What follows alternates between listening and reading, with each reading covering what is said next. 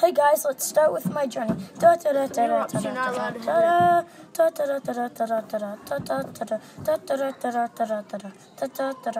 there's the state flower, the iris. And there's the state capital, Nashville. There's the state tree, the tulip tree, because it grows tulips on it. Hey, that's Memphis, home to over six, six, six thousand four hundred fifty people. Hey, there's the state bird, the national mockingbird. Hey, that's one of the largest cities in Tennessee. I'm gonna go back to my chair. Bye bye. See you next time.